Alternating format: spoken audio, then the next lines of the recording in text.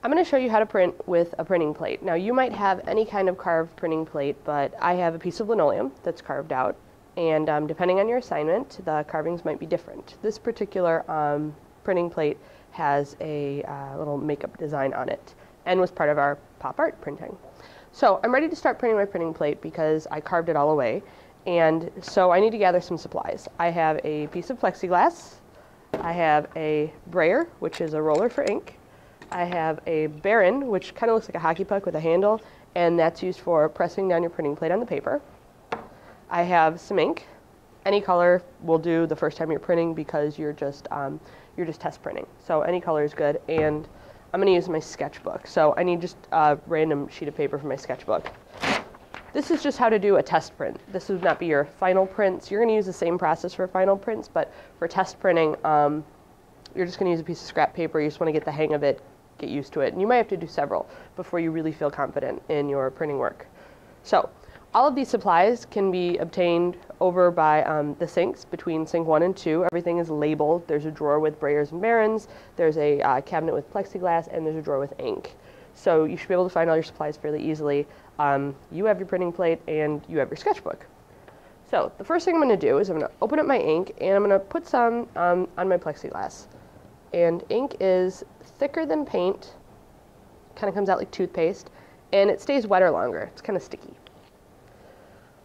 So I'm going to squeeze out some ink, take my um, brayer, which is my roller, and I'm going to roll out some ink. Now, at first it looks like I'm painting the surface of the plexiglass with this ink.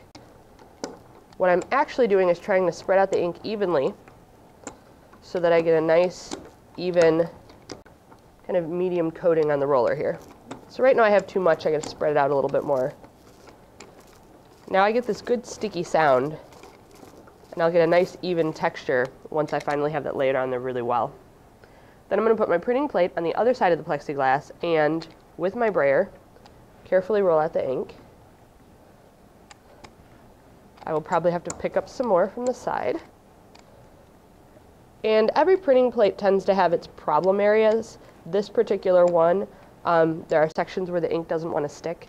So I might need to turn my brayer different ways. I might have to kind of tilt it to get it in, just so that I can see on my printing plate that I have a nice um, even layer of ink. Now, I'm going to actually move my ink out of the way so that I have a nice clean surface to print on. You want to try to avoid any stray marks on your paper. Even though this is just a test print, always good to get into the habit. Take my printing plate, turn it face down on my paper, just so it sticks, and then very carefully I'm going to turn it over the other direction.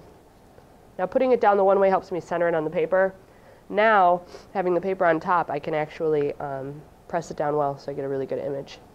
So, with my baren, I'm going to rub it across the surface of the printing plate. I like to use little circular motions. Try to get really nice and even. If you know that you have problem areas, especially after you do your first test print, um, you can actually take your brayer and kind of tilt it so you can get in those little problem areas. I also like to kind of tilt my um, a little bit and run it along the four sides. So I get very clean edges. I don't like edges that kind of fade and disappear. So that rubbed down really well. And because it's a test print, the first time you don't really know how you did. So peel it off and investigate. Now mine turned out pretty well.